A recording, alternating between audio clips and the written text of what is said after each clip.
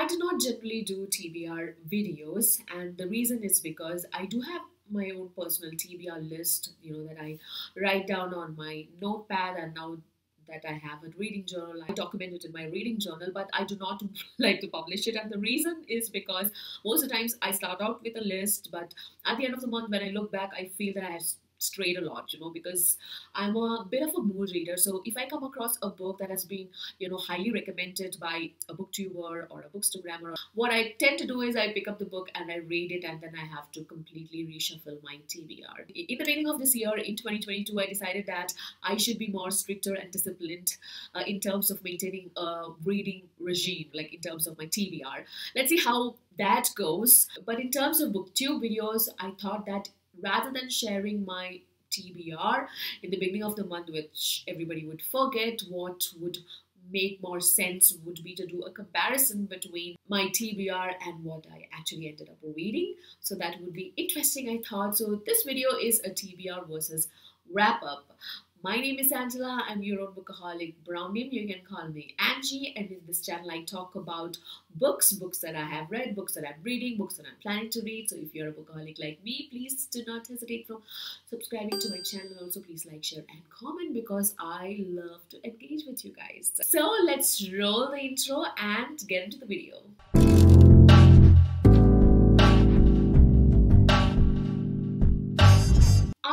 Be realistic when it comes to my TBR list. So I decided that I will choose four or five books in the beginning of the month if it is, you know, more fantasy laden because fantasy books tend to be, you know, long and sprawling. Of course, uh, out of the four books, three books that I chose were fantasy books and one was nonfiction. So I definitely stuck to four books because that sounded reasonable. The four books that I chose for January were The Blade Itself by Joe Abercrombie, The Assassin's Apprentice by Robin Hobb, The Fellowship of the Ring, which is book number one in the Lord of the Rings trilogy, and Brain by David Eagleman. That's a nonfiction book that I read in January. So these were the four books. How did I fare? Did I read The Blade itself? Of course I did. This is my first ever Joe Abercrombie book. It is the first book in the First Law trilogy, and it is Joe Abercrombie's first book as well. It's his debut, and for a debut novel, he has done incredibly well.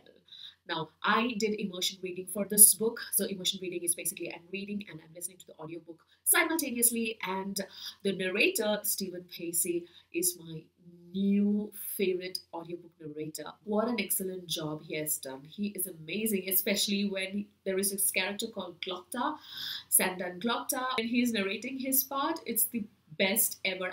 I listen to it in Storytel. Storytel is an, uh, an audiobook app, just like Audible and uh, Scribd. The Blade itself is definitely a grim dark fantasy. We come across four main characters. The first one is Logen Nine Fingers. He's also called the Bloody Nine because he is missing one finger, and also he is called Bloody Nine because he is an extremely violent barbarian.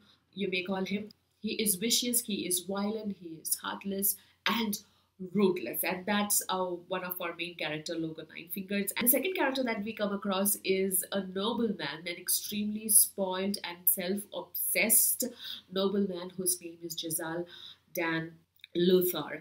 And the third character is my favorite character, which is Inquisitor Sand dan Glokta.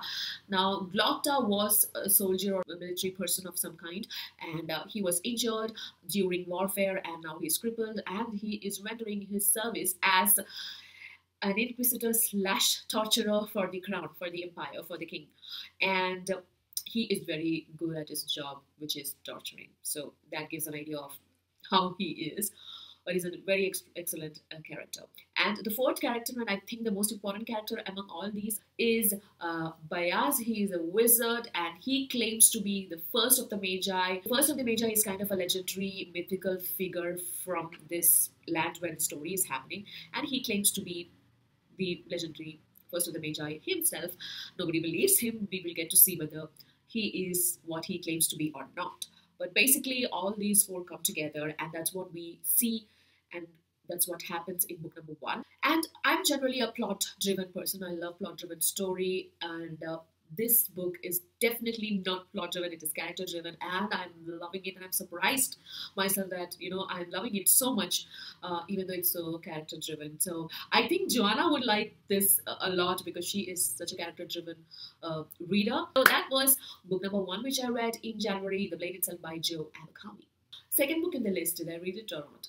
I did for sure, and that is the Assassin's Apprentice by Robin Hobb, which is book number one in the Farseer trilogy. And I know that this trilogy itself is part of a bigger series, which is called the Realm of the Elderling series, which is like around 14, 15 books or something, 18, I don't know exact number, but it's a huge, long ass series. And uh, what a journey! I'm glad I started this journey and I'm not complaining. This book is uh, definitely coming of age story. The story is about a royal bastard uh, called Fitz, whom we follow along. He is being uh, trained to become a spy and an assassin for the crown or for the king. Because this is such a long series, and because this is just book number one, and it shows the you know growth of this person from childhood to adolescence, uh, it's definitely slow paced. I know that a lot of people complain about it, but I didn't feel bored because it's written that well, and it is not that big or chunky a book. It was around I don't know, 300 pages or something. So that was not that big a book for me to read.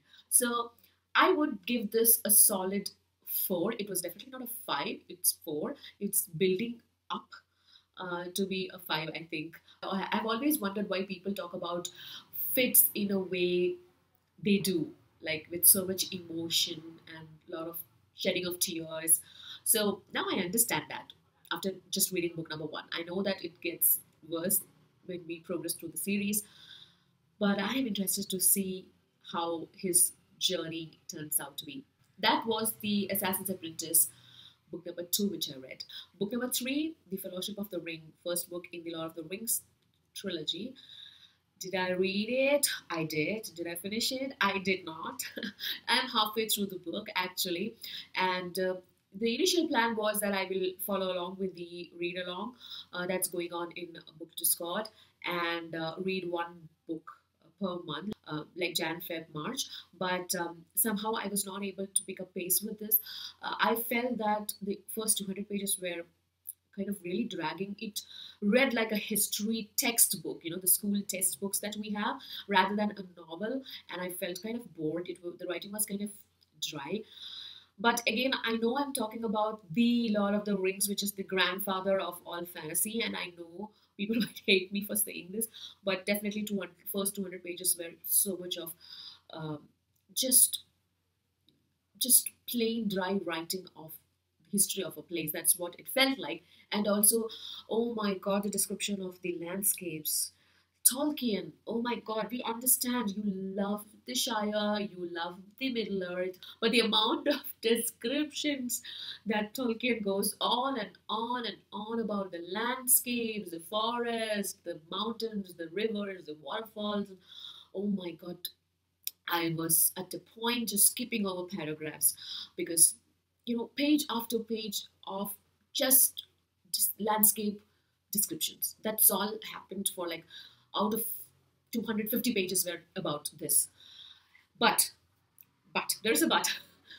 After that, the story really picked up. And uh, around 250 pages, I decided that, you know, I will stop at 250 and then I continue in February. So I stopped when it actually started getting interesting.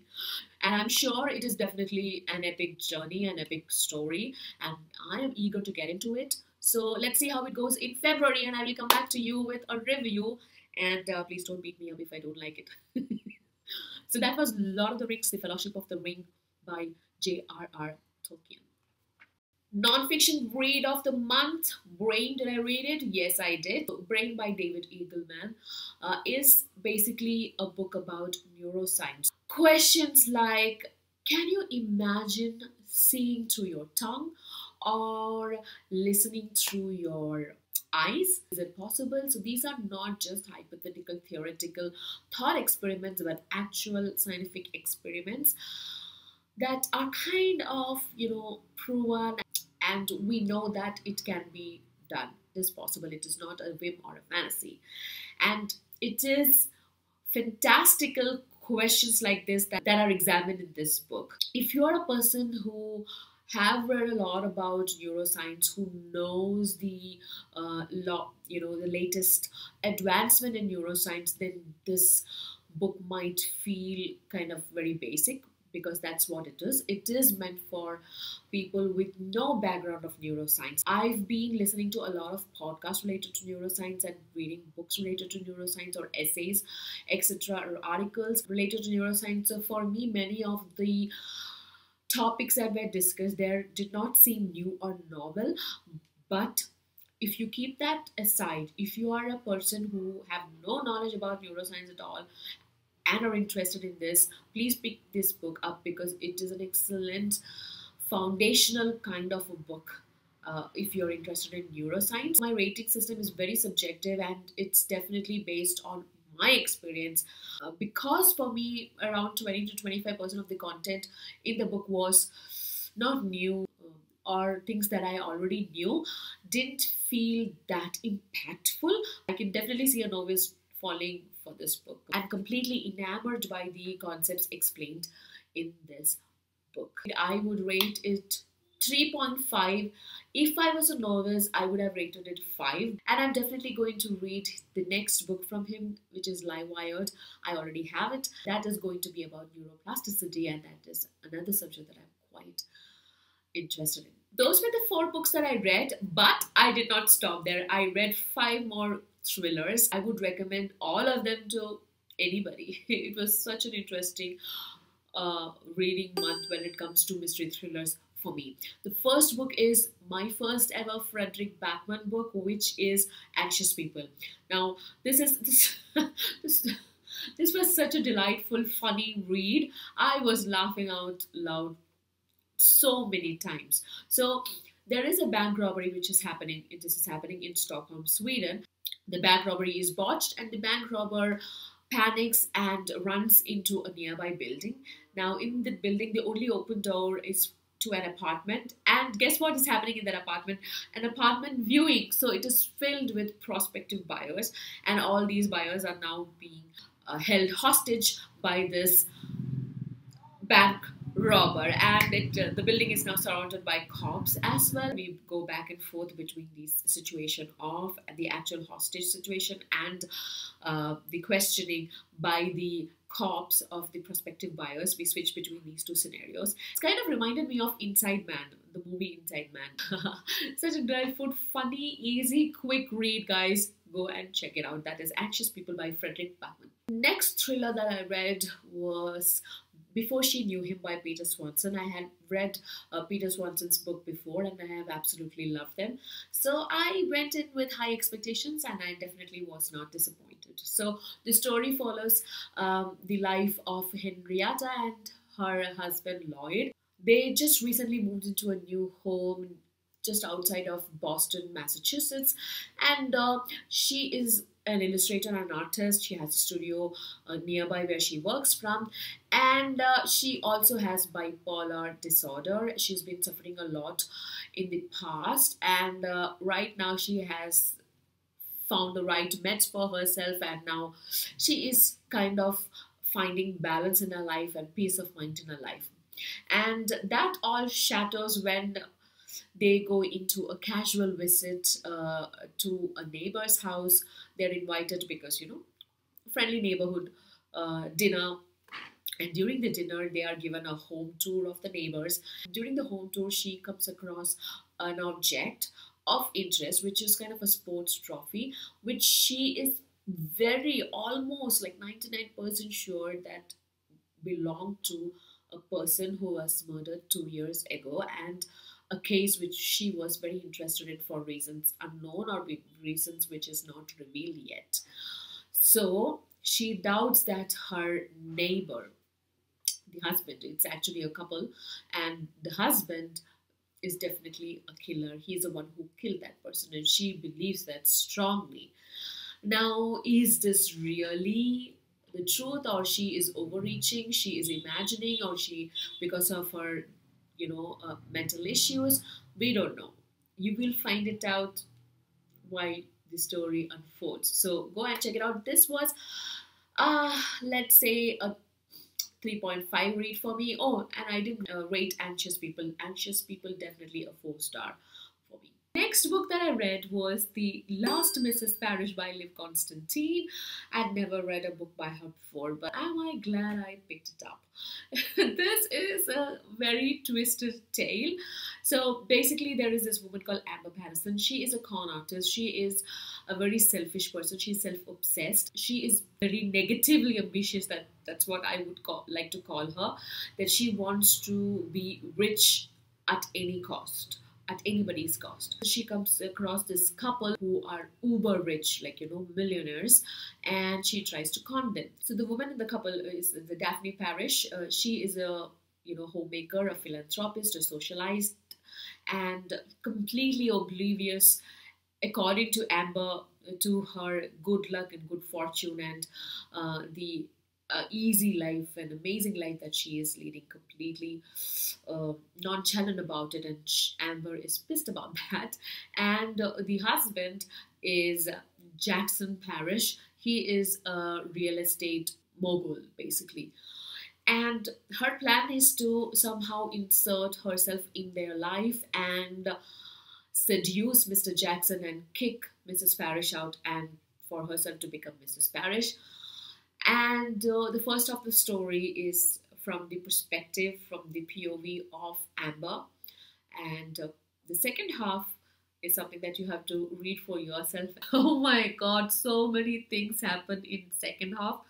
Completely unexpected. I love good twists and turns in my mystery thrillers, and this delivered that. And for that reason, I will give this four star. After the amazing debut of Liv Constantine, at least for me, I definitely wanted to read something else from Liv Constantine. I picked up another book by her, which is The Last Time I Saw You. So there is a brutal high society murder. Dr. Kate English's mother, Lily English, has been brutally murdered during the funeral and the subsequent mourning period of her mother.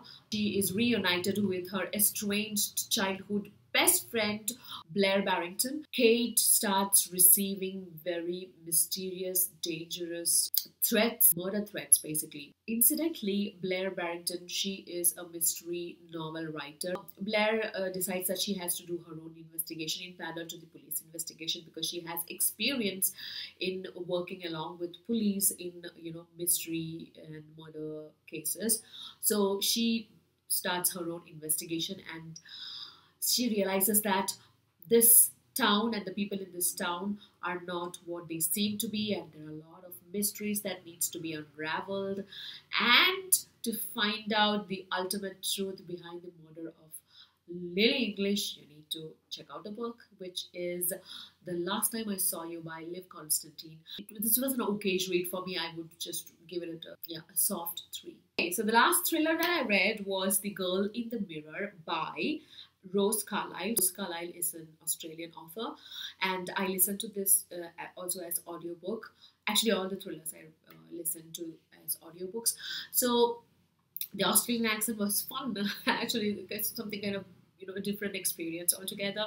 So that was interesting, and uh, the story follows uh, two uh, sisters. They're actually twin sisters, uh, Iris and Summer. Mostly the story is told from the perspective of Iris. Now, Iris is bitter, she is insecure, she is cynical, and she thinks that uh, Summer is much more beautiful than her, even though they are identical sisters. You know, people cannot tell them apart that identical. But still she thinks that summer is much more beautiful. She has the inner beauty. She is nice to everybody. Everybody loves her more.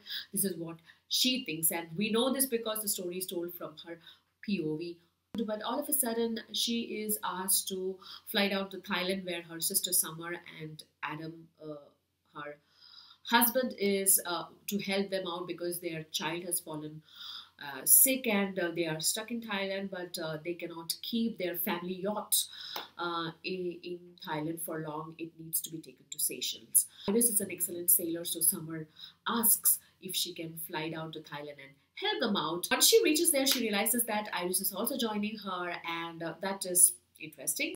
But unfortunately, what happens is during the journey, during this voyage, Summer falls aboard story takes a weird turn from there. When she reaches Seychelles, Adam mistakes uh, her for Summer, and Iris doesn't correct him, and she plays along. She becomes his wife essentially because she never corrects anybody around her saying that you know she is not Summer that she is Iris and she plays along honestly speaking till the end of the book, almost till the end of the book, I was like, okay, yeah, this is a very good read. I know what's going to happen. It's very predictable. It was a three star read for me, literally, like literally till the last paragraph. And the last paragraph elevated this from three to four for me. I was like, what? I was like so taken aback. So, to find out what the twist was, read The Girl in the Mirror by Rose Carlyle. That was my January reading month, guys. TBR versus up. How was that? Not bad, huh? I'm quite happy how January turned out to be, and I'm hoping all the rest of the month in this year are going to be as brilliant and better even. I will definitely put up a review of the nonfiction read of the month, which was Brain by David Eagleman. So watch out for that. And to do that, please do subscribe and also hit the bell icon so you get notified when I put the video out. If you enjoyed this video, please hit the like button, share and comment. And until next time, this is Angie signing off. Bye-bye.